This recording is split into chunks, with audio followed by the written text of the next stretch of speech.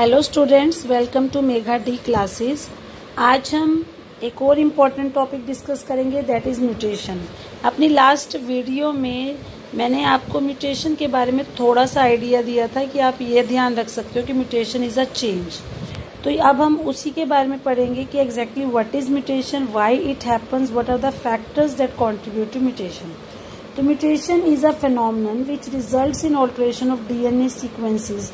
And consequently results in changes in the genotype and phenotype of an organism. कि mutation एक ऐसा phenomena है जिसकी वजह से जो डीएनए की सीक्वेंस है, वो बदल जाती है और उस डीएनए की सीक्वेंस के बदलने की वजह से ऑर्गेनिज्म का जो जीनोटाइप है और जो फिनोटाइप है, वो दोनों चीज़ें बदल जाती हैं। मीन्स आपको पता है कि हमारे अंदर डीएनए प्रेजेंट है। आपको अभी उसके स्ट्रक्चर के बारे में ज़्यादा इन्फॉर्मेशन नहीं होगी, वो हम नेक्स्ट लेसन में पढ़ेंगे। थोड़ा सा मैं आपको ब्रीफ में बता दूँ कि हमारी बॉडी में जो डीएनए वो इस तरह से हेलिकल फॉर्म में पाया जाता है। और ये जो डीएनए है, इसके एक हेलिकल को बनाने में दो स्ट्रैंड्स इन्वॉल्व होते हैं। तो इन दोनों स्ट्रैंड्स में बेसिस प्रेजेंट होते हैं, जिन्हें हम नाइट्रोजिनस बेसिस बोलते हैं, जो कि ए टी जी सी जिसके बारे में हम ज़्यादा डेप्थ में नेक्स्ट लेसन में करेंगे A T and G C here A stand for adenine T stand for thymine G stand for guanine and C stand for cytosine तो ये इसमें चार बेसिस होती है। इन बेसिस के बीच में कॉम्प्लीमेंट्री बेस पेयरिंग होती है। यानी कि ए जो है वो हमेशा टी के साथ पेयरिंग करता है और जी जो है वो हमेशा सी के साथ पेयरिंग करता है। तो यहाँ पर जैसे हमने ये बताया कि डीएनए के दो स्ट्रैंड्स हैं। अगर इस स्ट्रैंड में इस पोजीशन पे ए होगा तो इसके जस्ट सामने दूसरे स्टैंड पे टी होगा। सिमिलरली अगर यहाँ जी है तो यहाँ सी होगा। मीन्स ए ने हमेशा टी के साथ बॉन्डिंग करनी है और जी ने हमेशा सी के साथ बॉन्डिंग करनी है तो मतलब बेस पेयरिंग इनमें होती है। अब यहाँ पर क्या हो रहा है कि अगर किसी भी तरीके से डीएनए की सीक्वेंस ही बदल जाए, जैसे आपको मैंने बताया एक ऑर्डर चल रहा है A T G C ji C T A मान लो इस तरीके से ये सारे बेसिस एक ऑर्डर में लगे हुए एक सीक्वेंस में लगे हुए हैं। अगर बाई चांस किसी भी वजह से ये सीक्वेंस ही ऑल्टर हो जाए जी की जगह सी आ जाए या टी की जगह ए आ जाए तो उसकी वजह से उस ऑर्गेनिज्म का जीनोटाइप यानी कि जेनेटिक मेकअप और फिनोटाइप यानी कि जो ऑब्जर्वेबल करेक्टर्स है, वो सब कुछ बदल जाता है। तो रिकॉम्बिनेशन के साथ साथ म्यूटेशन की वजह से भी डीएनए में वेरिएशन हो सकती है। एक तो हमने बात की थी रिकॉम्बिनेशन की कि अगर आपकी जीन दूर दूर लोकेटेड है, अगर उनके बीच में लिंकेज नहीं है तो वो कुछ नया कॉम्बिनेशन बना सकती हैं। और एक कारण है कि म्यूटेशन की वजह से भी आपको डीएनए के अंदर बहुत ज़्यादा वेराइटी देखने को मिल सकती है। तो अगर डीएनए का कोई सेगमेंट लॉस हो जाता है तो उसे हम बोलते हैं डिलीशन और अगर कोई सेगमेंट वो नया लेता है that is known as gain तो चाहे उसके अंदर कोई नया सेगमेंट जुड़ रहा है, चाहे उसमें से कोई नया सेगमेंट निकल रहा है, दोनों ही केसेस में आपका जो क्रोमोजोम है, वो ऑल्टर हो जाता है, वो चेंज हो जाता है। अब हमें पता है कि जो आपके क्रोमोजोम है क्रोमोजोम के ऊपर जीन्स लोकेटेड है। सपोज़ ये आपका एक क्रोमोजोम है तो जो जीन्स है वो क्रोमोजोम के ऊपर लोकेटेड होते हैं। तो इट मीन्स कि अगर यहाँ पे किसी भी तरीके से क्रोमोजोम में कोई बदलाव आ रहा है डीएनए में बदलाव आ रहा है तो ऑटोमेटिकली हमारी बॉडी में कोई ना कोई एबनॉर्मेलिटी या एब्रेशन यानी कि कोई ना कोई चेंज या कोई ना कोई बीमारी हो सकती है। तो क्रोमोजोमल एब्रेशन का सबसे बेस्ट एग्ज़ाम्पल है कैंसर सेल्स कैंसर में भी क्या होता है कि जो हमारे नॉर्मल सेल की एक फंक्शनिंग चल रही है, कि नॉर्मली इतने सेल्स प्रोड्यूस होने चाहिए, वो सारी डिसरप्ट हो जाती है। उसके अंदर भी क्या है कि कुछ ऐसी म्यूटेशन होने की वजह से जो है क्रोमोसोम्स जो है, उनमें एब्रेशन उनमें बदलाव आ जाता है और उसकी वजह से हमें डिज़ीज़ हो सकती है। इसके अलावा म्यूटेशन होने का एक और कारण होता है, जब डीएनए का एक सिंगल बेस पेयर भी बदल जाता है। अब जब यहाँ पे सिंगल की बात हो रही है तो इसलिए इसको पॉइंट म्यूटेशन भी कहते हैं। जैसा कि मैंने भी आपको बताया था कि सपोज़ डीएनए की एक स्ट्रैंड में सीक्वेंस दे रखी है A T G C T A और दूसरे स्टैंड में जो सीक्वेंस है, वो बिल्कुल इसके कॉम्प्लीमेंट्री होगी। ए के सामने टी टी के सामने ए एंड जी के सामने सी सी के सामने जी यहाँ पे भी ए एंड टी अगर मान लो एक पूरा का पूरा बेस पेयर ही बदल जाए मान लो ये सी जी वाला बेस पेयर यहाँ से कट हो जाता है, हट जाता है तो तो आप इसको बोलोगे डिलीशन अगर इनके बीच में एक और बेस पेयर ऐड हो जाए तो उसको आप कहोगे एडिशन अब यहाँ पर क्या है, अगर एक सिंगल बेस पेयर हट रहा है या आ रहा है मतलब सिंगल बेस पेयर में बदलाव हो रहा है तो उसको हम बोलते हैं पॉइंट म्यूटेशन तो पॉइंट म्यूटेशन होने की वजह से भी बीमारी हो सकती है, जिसका एग्ज़ाम्पल है सिकल सेल एनीमिया जिसके बारे में हम अभी पढ़ेंगे. और अगर मान लो बहुत सारे बेस पेयर्स एक साथ हट जाते हैं डिलीट हो जाते हैं या ऐड हो जाते हैं तो उसको हम बोलते हैं फ्रेम शिफ्ट म्यूटेशन तो म्यूटेशन क्यों हो रहा है, कैसे हो रहा है, ये बहुत बड़ा टॉपिक है जो अभी आपकी क्लास के लेवल के हिसाब से आपको इतना डिटेल में नहीं जाना. फॉर द टाइम आपको ये याद रखना है कि बहुत सारे ऐसे फैक्टर्स हैं जो म्यूटेशन करने के लिए रिस्पॉन्सिबल होते हैं. ये केमिकल फैक्टर्स यानी कि केमिकल्स भी हो सकते हैं और फ़िज़िकल फैक्टर्स भी हो सकते हैं। जैसा कि आपने सुना होगा, अगर हम बहुत ज़्यादा एक्सरे के संपर्क में आते हैं तो उसकी वजह से भी हमारे अंदर म्यूटेशन हो सकती हैं।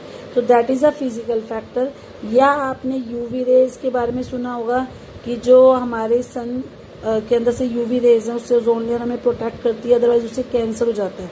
तो ये जितने भी टाइप की रेडिएशन और रेज हैं, ये सारी फ़िज़िकल फैक्टर्स हैं। तो ये भी अगर हमारी बॉडी पर डायरेक्टली पड़ती है तो उसकी वजह से भी म्यूटेशन हो सकती है।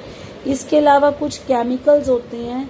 अगर उनका हम बार बार सेवन करते रहते हैं तो वो भी हमारे लिए कैंसरस है। जैसे कि आपने टोबैको सुना होगा कि बहुत ज़्यादा अगर कोई तंबाकू खाता है या सिगरेट पीता है तो उसको भी कैंसर हो जाता है। तो ये सारे केमिकल और फ़िज़िकल फैक्टर्स है जो म्यूटेशन करते हैं। तो जिन चीज़ों की वजह से म्यूटेशन होती है, उन्हें हम म्यूटाजेंस बोलते हैं। तो ये जितने भी केमिकल्स और रेडिएशन है दीज ऑल आर म्यूटाजेंस इसके बाद हम बात करते हैं जेनेटिक डिसऑर्डर्स की। जेनेटिक डिसऑर्डर्स आपके बेसिकली दो टाइप की होती है। एक होते हैं क्रोमोजोमल डिसऑर्डर्स और एक होते हैं मेंडेलियन डिसऑर्डर्स एग्जैक्टली वो क्या हैं, उनकी क्या डेफिनेशन है, उसको हम अभी डिटेल में आगे आने वाले सेक्शंस में करेंगे। बट उससे पहले ये जानना ज़रूरी है कि पेडिग्री एनालिसिस क्या होता है। अब आपको पता है कि मेंडल ने अपना जितना भी काम किया था, उन्होंने वो सारा काम किया था पी प्लांट पे। अब पी प्लांट के बारे में हमने ये भी पढ़ा है कि पी प्लांट को उसने क्यों सिलेक्ट किया, क्योंकि वो जल्दी न्यू जनरेशन दे देता है, उसमें आप आसानी से कॉन्ट्रास्टिंग ट्रेड्स दे सकते हो, आप सेल्फ पोलिनेशन कर सकते हो। मीन्स आपको बहुत सारे रीजंस पता है कि that why he chose pea plants for his selection but अब यहाँ पर हम पर्टिकुलरली बात कर रहे हैं ह्यूमन बींग्स की। अब क्या जो चीज़ें हमने पी प्लांट में करी, क्या हम वो ह्यूमन बींग्स में कर सकते हैं? ऑफ़ कोर्स नॉट क्योंकि ह्यूमन बींग्स में क्रॉसिंग करवाना इतना आसान नहीं है। आपको भी पता है कि हमारा जो ह्यूमन बींग्स का एक लाइफ स्पैन है, वो अगर आप एक नॉर्मल एवरेज भी निकालो तो वो साठ साल के आसपास होता है। तो क्या हम कोई एक्सपेरिमेंट करने के बाद साठ साल तक वेट कर सकते हैं कि हमें उसका कंक्लूजन दिखे? No no. तो मेंडल ने जो काम किया, उसको हम as it is human beings में परफॉर्म नहीं कर सकते। तो इसलिए ह्यूमन बींग्स के केस में हमें जिस चीज़ पर रिलाई करना पड़ता है that is the family history अगर मान लो कोई ऐसी बीमारी है जो जेनेटिकली चलती आ रही है तो अगर आप डॉक्टर के पास भी उसके ट्रीटमेंट के लिए जाते हो तो first of all he will ask कि आपके घर में क्या किसी को ये बीमारी थी? तो इट मीन्स ह्यूमंस के केस में बहुत सारी डिज़ीज़ ऐसी हैं जिनको हम फैमिली हिस्ट्री के अकॉर्डिंगली क्योर करते हैं। तो उससे हमें ये पता लग जाता है कि कोई पर्टिकुलर ट्रेट है, वो इनहेरिटेड है मतलब जनरेशन से चलता आ रहा है या अभी हुआ है। जैसे शुगर है शुगर की बीमारी अगर किसी को हो जाए और वो डॉक्टर पे जाएगा तो डॉक्टर डेफिनेटली उससे ये पूछेगा कि आपके घर में भी किसी को ये बीमारी थी। तो जब हम एक ही फैमिली की बहुत सारी जनरेशन यानी कि बहुत सारी पीढ़ियों में किसी ट्रेड को एनालाइज करते हैं कि ये ट्रेड या ये करेक्टर हर एक जनरेशन में आ रहा है या नहीं तो that is known as pedigree analysis तो इट मीन्स पैडिग्री एनालिसिस में हम किसी भी पर्टिकुलर ट्रेड की इनहेरिटेंस की बात करते हैं कि जनरेशन से वो फैमिली में किस तरीके से चलता आ रहा है. तो पैडिग्री एनालिसिस एक बहुत ही स्ट्रॉन्ग टूल है, जिससे कि आप किसी भी पर्टिकुलर ट्रेड की इनहेरिटेंस का पता लगा सकते हो, या कोई एबनॉर्मेलिटी या डिज़ीज़ है, आप उसका भी पता लगा सकते हो. कि जैसे कि आपने इस चैप्टर में पहले भी पढ़ा है, हमें पता है कि जो हमारी जीन्स हैं they are located on the DNA और जो डीएनए है that are present in the chromosome chromosome होगा, जो क्रोमोजोम है, वो आपका डीएनए का बना हुआ है और उसके ऊपर जीन्स प्रेजेंट है। और डीएनए ही जेनेटिक इन्फॉर्मेशन को एक जनरेशन से नेक्स्ट जनरेशन तक लेके आता है। तो इसका मतलब कि अगर तो आपका डीएनए एज इट इज़ चला जाए, उसमें कोई बदलाव नहीं हुआ तो आपको कुछ भी अलग नहीं दिखेगा। लेकिन नॉर्मली ऐसा होता है कि उसमें अपने आप ही चेंजेस होते रहते हैं। तो चेंजेस हो गए तो इट मीन उसमें म्यूटेशन आ गई। म्यूटेशन आ गई तो इसका मतलब उसके अंदर कोई ना कोई डिसऑर्डर या बीमारी हो सकती है। अब पेडिग्री एनालिसिस जब हम करते हैं तो जब भी आप किसी डिज़ीज़ के लिए या किसी ट्रेड को स्टडी करने के लिए डॉक्टर के पास जाते हो तो वो आपका एक फैमिली चार्ट बनाता है, एक फैमिली ट्री बनाता है पेडिग्री के थ्रू तो पेडिग्री एनालिसिस जब की जाती है तो उसमें ये नहीं है कि पर्सन का नाम लिखा जाएगा।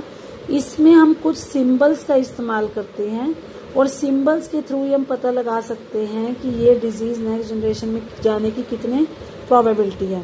फॉर एग्ज़ाम्पल जैसे कि आप यहाँ पे लेफ़्ट साइड पे देख सकते हो, वैसे तो बहुत सारे सिंबल्स हैं बट फॉर द टाइम आपको थोड़ा सा उसका ब्रीफ आइडिया देने के लिए यहाँ पे कुछ स्पेसिफिक सिंबल्स बताए गए हैं।